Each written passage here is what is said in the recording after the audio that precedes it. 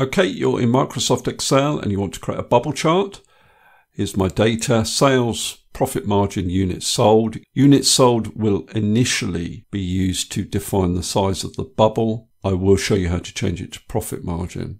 So you want to first of all just select the numbers in your data. You then go to insert in the charts group, go to this scatter graph and bubble charts button and choose bubble down there just make the chart a little bit bigger.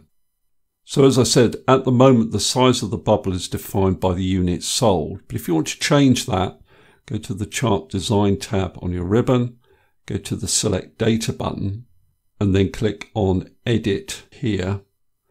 And you can see you've got your X values, your Y values, and your bubble size here. So column D is being used for the bubble size. I want it to actually be column C so I just define column C as my bubble size.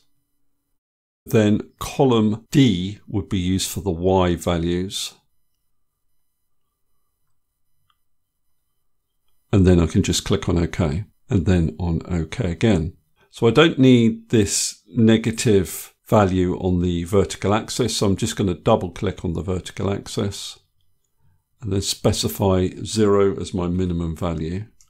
So the next thing we're going to do is show labels on the bubbles. So if you go to the plus button or the chart elements button, top right of the chart, and then go to data labels, go to the sub menu and go to more options. So we want to show the name of the product against each of these bubbles. So if I tick value from cells, I can then select the values in column A. I get the name of each product on the chart now. And I don't want to show the Y value. That's the unit sold. I want to show the bubble size. So the profit margin. Now, if I want to show axis titles, I'll go to my plus button again, tick axis titles there.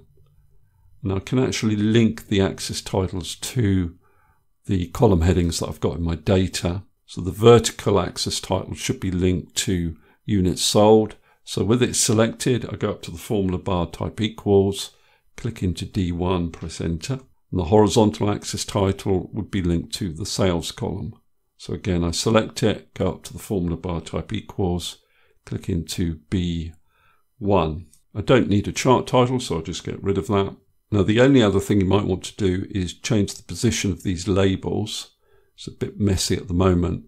If you drag the label it does draw a nice leading line to the bubble it's referring to.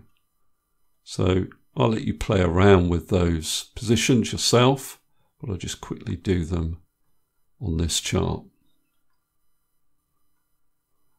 If you want to change the color of the bubbles, if you click on one of the bubbles, it selects all of them. And then over here on the right of your screen, you can expand the fill section and then choose a different color, but that'll change the color of all the bubbles. So I'll undo that.